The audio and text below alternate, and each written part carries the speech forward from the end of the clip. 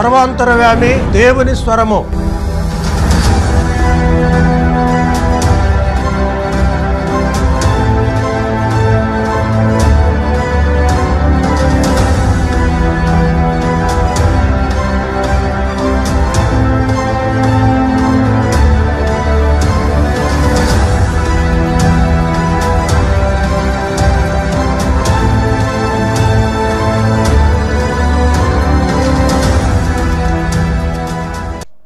రైజలాడ్ hallelujah ప్రార్థన మహాఘనత వహించిన మా యేసు మీ కరమైన పరిశుద్ధమైన శ్రేష్టమైన అతి మనోహరమైన నామాన్ని బట్టి మీకే వేలాది వేల వందనాలు స్థుతులు స్తోత్రాలు చెల్లిస్తున్నాం.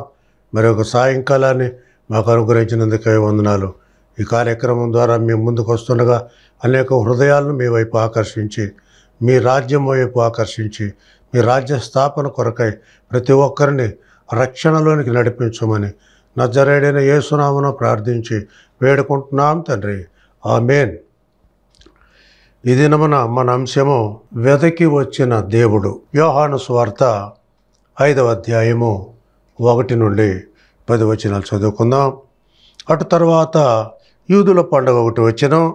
గనక యేసు ఎరుసలేమునకు వెళ్ళెను. ఎరుసలేములో గొర్రెల ద్వారం దగ్గర హెబ్రి భాషలో బెతేస్తా అనబడిన ఒక కోనేరు కలదు దానికి ఐదు మంటపములు కలవు. ఆయా సమయములకు దేవదూత కోనేటిలో దిగి నీళ్ళు కదిలించుట కలదు. నీరు కదిలింపబడిన పిమ్మట మొదట ఎవడు దిగునో వాడు ఎట్టి వ్యాధి గ్ర- గలవాడైననో బాగుపడును గనుక ఆ మంటపములలో రోగులు గుడ్డివారు కుంటివారు ఊచకాలు చేతులు గలవారు గుంపులుగా పడి ఉండిరి. అక్కడ ముప్పది ఎనిమిది ఏండ్ల నుండి వ్యాధి గల ఒక మనుషుండెను యేసు వాడు పడి ఉండట చూచి వాడప్పటికీ బహుకాలం నుండి ఆ స్థితిలో ఉన్నాడని ఎరిగి స్వస్థపడగోరుచున్నావా? అని వాడిని అడుగ్గా ఆ రోగి అయ్యా నీళ్ళు కదిలింపబడినప్పుడు నన్ను కోనేట్లోనికి దించుటకు నాకెవడనూ లేడు గనక నేను వచ్చినంతలో మరి ఒకడు నాకంటే ముందుగా దిగునని ఆయనకు ఉత్తరం ఇచ్చాను. యేసు నీవు లేచి నీ పరిపెత్తుకొని నడువమని వానితో చెప్పగా వెంటనే వాడు స్వస్థత నొంది తన పరిపెత్తుకొని నడిచను. ఆ దినము విశ్రాంతి దినము గనుక యూదులు ఇది విశ్రాంతి దినము కదా నీవు నీ పరిపెత్తుకున్న తగదే అని స్వస్థత నొందిన వానితో చెప్పిరి. ఇక్కడ మనం చూసినప్పుడు మరి యేసుక్రీస్తు ఈ లోకానికి ఎందుకు వచ్చాడు అనే విషయాలు మనం ధ్యానించినప్పుడు ఐదు విషయాలు మనకు కనబడతాయి.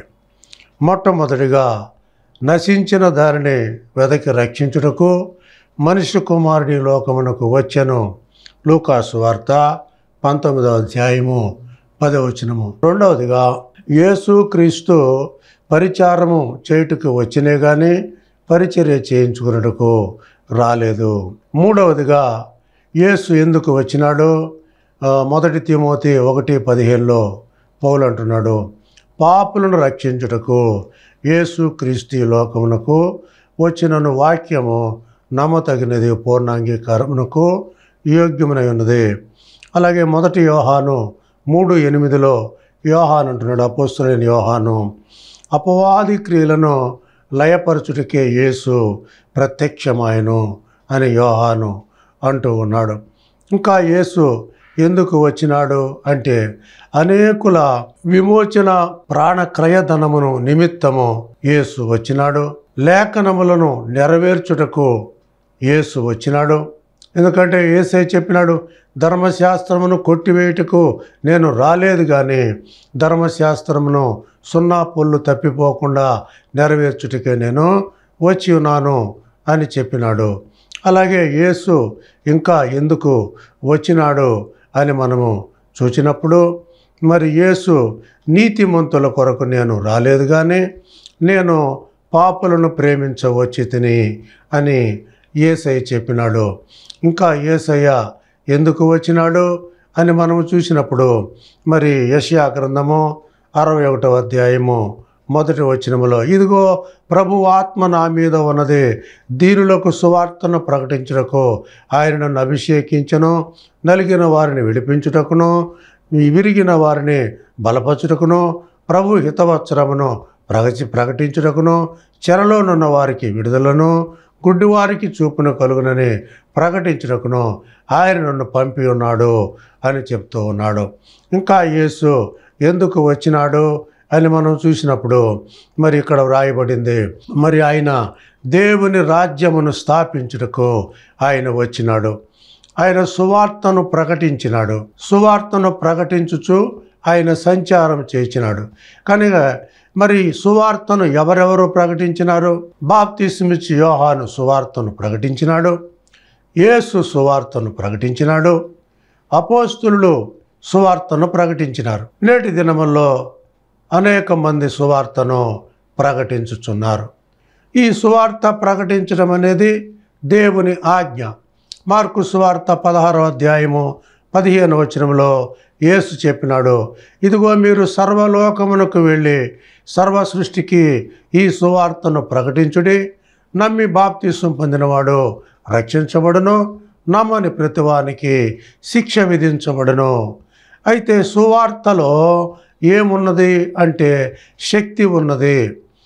రోమాపత్రిక ఒకటవ అధ్యాయము పదహారవ వచనంలో పౌలన్నాడు సువార్తను గురించి నేను సిగ్గుపడేవాడను కాను. ఏలయనగా నమ్ము ప్రతివానికి మొదట యూదునికేమి గ్రీసి దేశస్తునికేమి రక్షణ కలుగజేయటకు అది దేవుని శక్తి అయి ఉన్నది. ఎవరు విశ్వసించలేదు?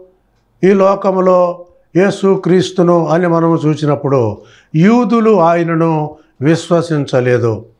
ఆయనను దయ్యము పట్టినవాడన్నారు బయల్జేబువుల వలన నీవు దయ్యములను వెళ్ళగొడుతున్నావు అన్నారు. నీవు వ్యభిచారము వలన పుట్టినవాడవు అన్నారు. నీవు వడ్లవాణి కుమారుడవు అన్నారు. ఇంకా అనేక నిందలు ఆయన మీద మోపినారు. కనుక యూదులే ముందుగా ఆయనను సువార్తను విశ్వసించలేదు. పెంతెకోస్తు అనే పండుగ దినము వచ్చినప్పుడు మరి పరిశుద్ధాత్మ మరి అగ్ని దిగి వచ్చి ఉన్నది నూట ఇరవై మంది మీదకి. మరి అప్పుడు పేతురు నిలవబడి దేవుని సువార్తను ప్రకటించినప్పుడు అక్కడ మూడు వేల మంది రక్షించబడినట్లుగా మనము చూస్తూ ఉన్నాము.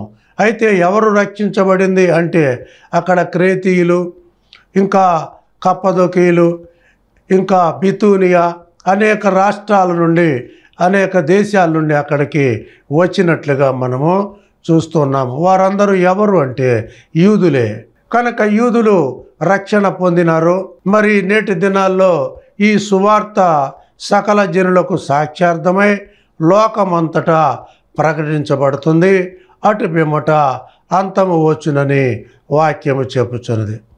ఈ సువార్తలో శక్తి ఉన్నది.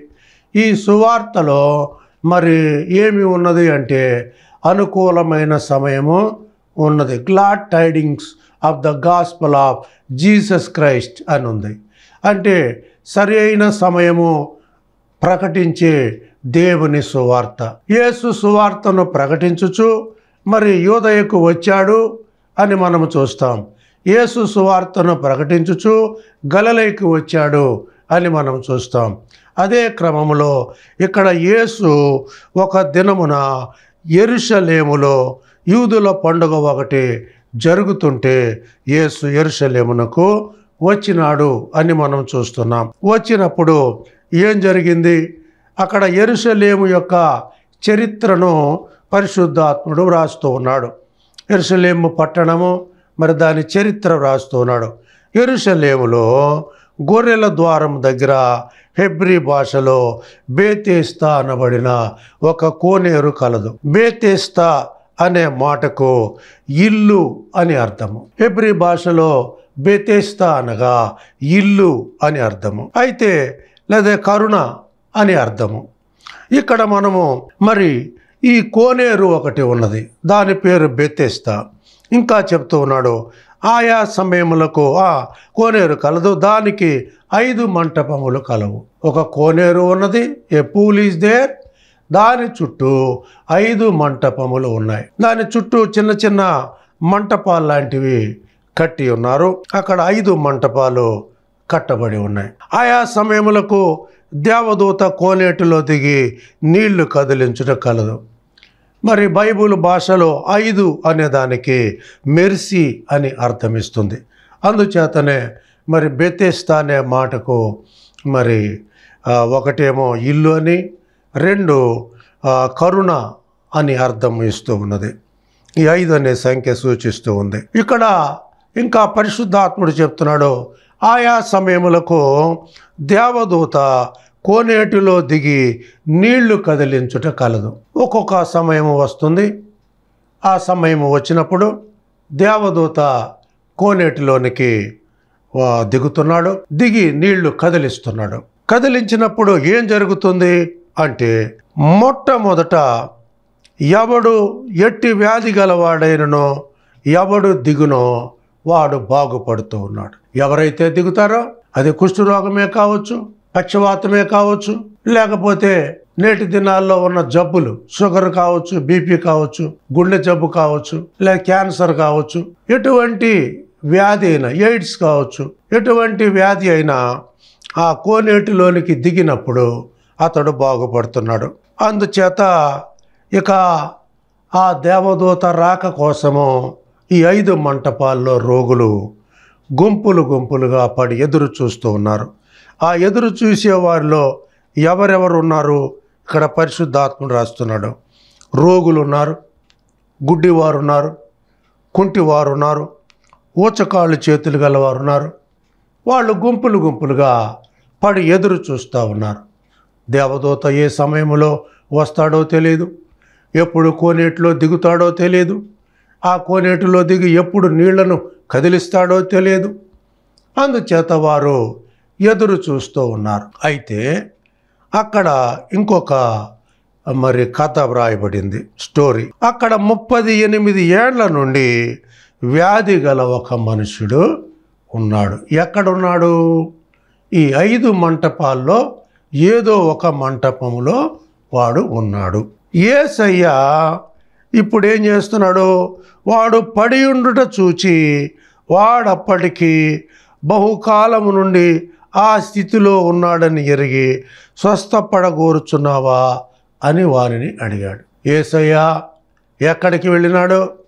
ఆ మంటపాల్లోనికి వెళ్ళినాడు. సేవకులు ఎక్కడికి వెళ్ళాలి? ఎక్కడ జనులు ఉంటారో అక్కడికి వెళ్ళాలి. కొంతమంది సేవకులు అనుకుంటారు వాళ్ళ దగ్గరికే వ్యక్తులు రావాలి అనుకుంటారు. ఒక కుంటివాడు ఉన్నాడు కొంగర మల్లయ్య గట్టు దగ్గర. ఎవడైనా వెళ్తుంటేనే ఉంటారు ఏ చంపేస్తాను. అది అక్కడ పెట్టి ఆ బ్యాగు అని దోసుకునేవాడట. ఒకరోజు ఒక వ్యక్తికి ధైర్యం వచ్చింది. డే అది అక్కడ పెట్టు అన్నప్పుడు పెట్టను రారా అన్నాడంట. అంటే వాడు కుంటివాడు. రాలేడు కదా? పైకేమో ఇసుక కప్పుకొని మామూలులా కనబడుతున్నాడు వ్యక్తిలాగా. రారా అంటే ఏమొస్తాడు?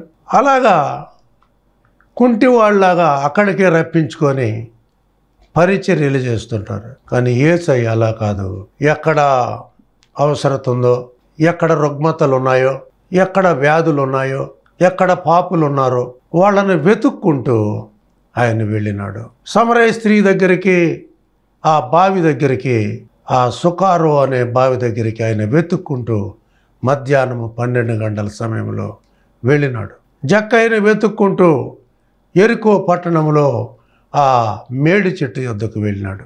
నతానియేలును వెతుక్కుంటూ అంజూరపు చెట్టు దగ్గరికి వెళ్ళినాడు. ఏసయ్య వెదకి వచ్చిన దేవుడు ఆయనే వెతుకుతూ సంచరిస్తూ ఎక్కడ రోగులు ఉన్నారో ఎక్కడ పాపులు ఉన్నారో ఎక్కడ ఆహారం లేదు ఎక్కడ నీరు లేదు ఆ అవసరతను తీర్చడానికి ఆయన వెదకి వచ్చిన దేవుడు. ఎక్కడ గృహము లేదు ఎక్కడ ఉద్యోగం లేదు ఎక్కడ వ్యాపారం లేదు ఎక్కడ ఎడ్యుకేషన్ లేదు ఎక్కడ వర్షాలు లేవు ఎక్కడ ఆహారం లేదు ఆ అవసరతను తీర్చుటకు వెదకి వచ్చిన దేవుడు.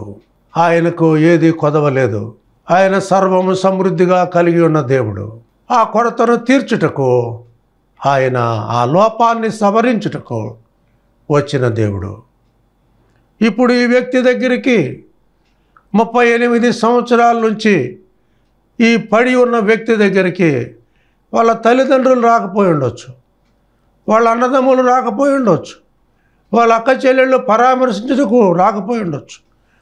జీవితంలో అతడు అనేక మందికి ఎన్నో ఉపకారములు చేసి ఉండవచ్చు. ఎన్నో దాన ధర్మములు చేసి ఉండవచ్చు. ఎందరికో ఆహారం పెట్టి ఉండవచ్చు. ఎందరికో వస్త్రములు ఇచ్చి ఉండవచ్చు. కానీ ఎవరు ఇతని దగ్గరికి రాలేదు. తిన్నవారంతా మర్చిపోయారు. తాగిన వారంతా మర్చిపోయారు. ఎప్పుడైతే ఈ మనుషుడు పడిపోయాడో ఎవడు తిరిగి చూడటం లేదు. ఈ లోకాన్ని నమ్మితే అంతే. నరులను నమ్మి శరీరుల మీద నుండి తన హృదయమును తొలగించుకునేవాడు శాపగ్రస్తుడు అని ఉంది అతడు అరణ్యములోని అరుహా వృక్షమును పోలి ఉంటాడు. ఎండిన నేల ఎందును? చవిటి భూమి ఎందును? కాలిన నేల ఎందును? అతడు నివసింపవలసి వస్తుంది. యహోవాను నమ్ముకున్న వాడు ధనిడు. ఆయన వానికి ఆశ్రయముగా ఉండును. అతడు జలముల యొద్ద నాటబడిన చెట్టు వలె ఉండును. వర్షము లేని సంవత్సరమున అది చింతనందదు కాపు మానదు. విత్ అండ్ వితౌట్ గాడ్ దేవుడు ఉన్నవారు దేవుడు లేనివారు. విత్ అండ్ వితౌట్ క్రైస్ట్ క్రీస్తు ఉన్నవారు క్రీస్తు లేనివారు. డాక్టర్ బిల్లి గ్రాన్ చెప్పినాడు అమెరికాలో రెండు కుటుంబాలు ఆయనకు తెలుసట. A two families are there in America రెండు ఫ్యామిలీలు రెండు కుటుంబాలు ఉన్నాయంట అమెరికాలో. ఉదాహరణ చెప్పినాడు. ఒక కుటుంబము అన్యుల కుటుంబము. One family is old family the second family is the Christian family రెండవ కుటుంబము క్రైస్తవ కుటుంబము.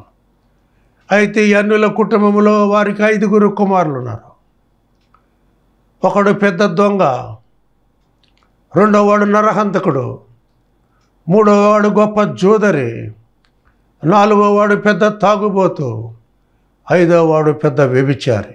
అయితే క్రైస్తవుల కుటుంబంలో వారికి ఐదుగురు కుమారులు ఉన్నారట మొట్టమొదటి వాడు ప్రొఫెసర్ రెండో వాడు ఎవాంజలిస్ట్ మూడో వాడు గ్రేట్ ఇంజనీర్ నాలుగో వాడు డాక్టర్ ఐదో వాడు లాయర్. అందుకనే బిల్లిగ్రామ్ అంటాడు what is the between two two these families ఈ రెండు కుటుంబములో ఉన్న వ్యత్యాసం ఏమిటి? And with and without Christ క్రీస్తు ఉన్నవారు క్రీస్తు లేనివారు. What is the comparison in the world ఈ లోకమును దేనితో పోల్చవచ్చును? ఏసయ్య వెతుకుతూ వచ్చినాడు. ఈ మనుష్యుడి కొరకు ఎవరు రాలేదు? ఎవరు జాలి పడలేదు? ఇదిగో ఆ యొక్క ఎరుకో మార్గములో పడిపోయిన మనుష్యుని దగ్గరికి ఎవరు రాలేదు? యాజకుడు చూచి తప్పించుకొని వెళ్ళిపోయినాడు. లేవీడు కూడా వచ్చి చూచి తప్పించుకొని వెళ్ళిపోయినాడు. కానీ ఎవరు వచ్చారు? అతడి దగ్గరికి అంటే మంచి సమరయుడు గుడ్ సమరిటన్. అతడు వచ్చి గార్ధాబము దిగి ద్రాక్షారసమును నూనెయు తీసి అతని గాయములు కడిగి కట్టి అతని గార్ధాం మీద కూర్చుండబెట్టుకొని పూట కోళ్ళ వాని ఇంటి వద్దకు తీసుకుని వెళ్ళి నువ్వు ఇతని పరామర్శించుము. నువ్వు ఇంకేమైనా ఇతని కొరకు ఖర్చు చేసాడు అది నాలుగు అంతలుగా నీకు చెల్లించదను. రెండు ధ్యానారములు అవానికి ఇచ్చినాడు. రెండు ధ్యానారములనగా బైబిల్ గ్రంథములో రెండు పుస్తకాలు రెండు భాగములు. ఒకటి పాత నిబంధన రెండు కొత్త నిబంధన. నూనె పరిశుద్ధాత్మకు సాదృశ్యముగా ఉంది. ద్రాక్షారసము యేసు రక్తమునకు సాదృశ్యముగా ఉంది. ఏసయ్య పడిపోయిన మనుషుని లేవనెత్తడానికి తన రక్తమును చిందించినాడు. ఆయన పెంత కోస్తేనే పండుగ దినమున పరిశుద్ధాత్మను పంపించినాడు. ఆయన దైవ గ్రంథాన్ని మానవులకు ఇచ్చినాడు అది అరవై ఆరు పుస్తకములతో రెండు భాగములుగా అనగా పాత నిబంధనలో ముప్పై తొమ్మిది పుస్తకాలు వెరసి క్రొత్త నిబంధనలో ఇరవై ఏడు పుస్తకాలు ఈ అరవై ఆరు పుస్తకములతో ముద్రించబడిన దైవ గ్రంథాన్ని నేడు ఆయన మానవులకు ఇచ్చినాడు. ప్రతివారు ప్రతిరోజు దీన్ని చదవండి. దీన్ని చదివినట్లయితే మీకు రక్షణ కలుగుతుంది. దీన్ని కలిగినట్లయితే మీకు నెమ్మది కలుగుతుంది. దీన్ని చదివినట్లయితే మీకు స్వస్థత కలుగుతుంది. చరిత్రలో బైబిల్ను చూసినప్పుడు ఒక రాజు దీన్ని నమిలేవాడట రోజు. ఎందుకంటే అతనికున్న వ్యాధి నయమైపోతుందని. డిఎల్ మూడి బైబిల్ని మోకాళ్ళ మీద వంద సార్లు చదివినాడు. జాన్ వెస్లీ మోకాళ్ళ మీద బైబుల్ని చదివినాడు.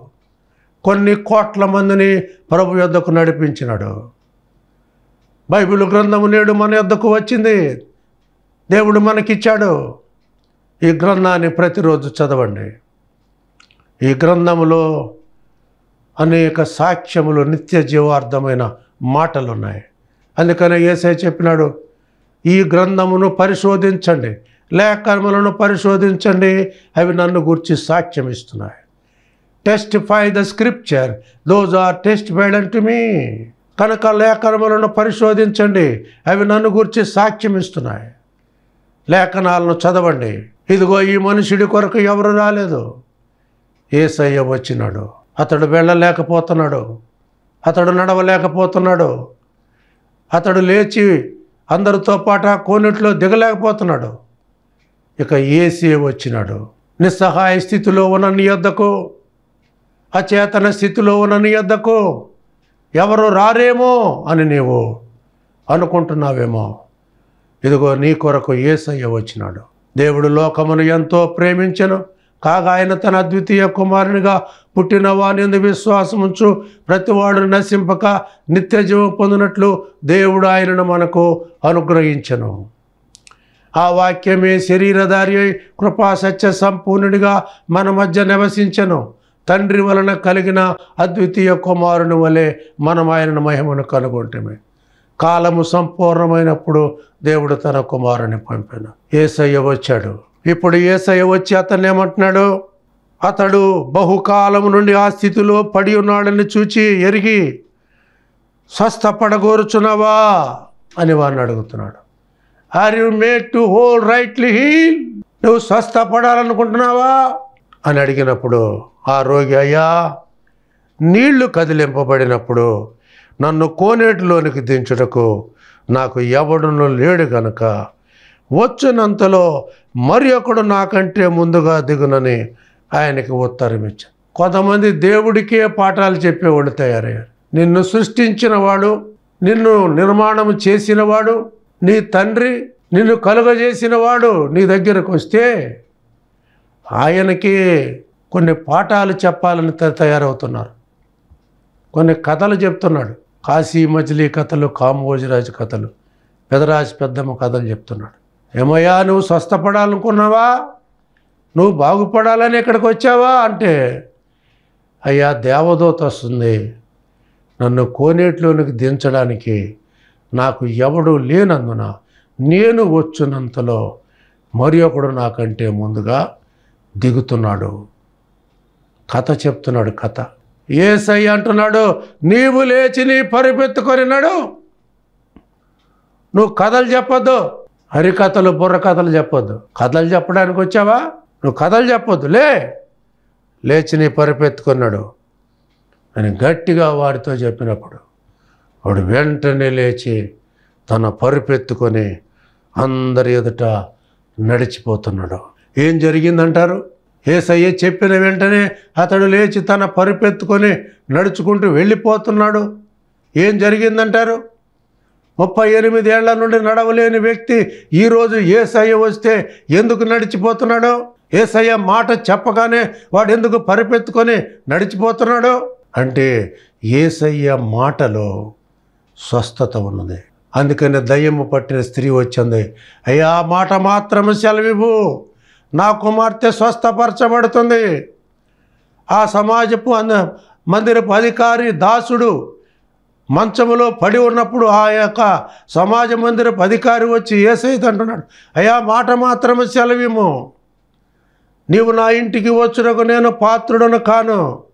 నేను ఒకరిని రమ్మంటే వస్తాడు ఒకరిని వెళ్ళమంటే వెళ్తాడు. నా కింద నూరుగురు సైనికులు ఉన్నారు అయితే నువ్వు మాట మాత్రమే సెలవు. నూట ఏడవ కీర్తన ఇరవై ఏడవ వచనంలో ఆయన తన వాక్కును పంపి వారిని బాగు చేసెను. ఏసయ్య మాటలో శక్తి ఉన్నది. ఆయన మాట సెలవిస్తే చాలు. ఆయన మాట చేత సముద్రమును గద్దించినాడు. శిష్యులంతా భయాందోళనకు గురి అయినారు విభ్రాంతి చెందుతున్నారు. కలవరపడుతున్నారు.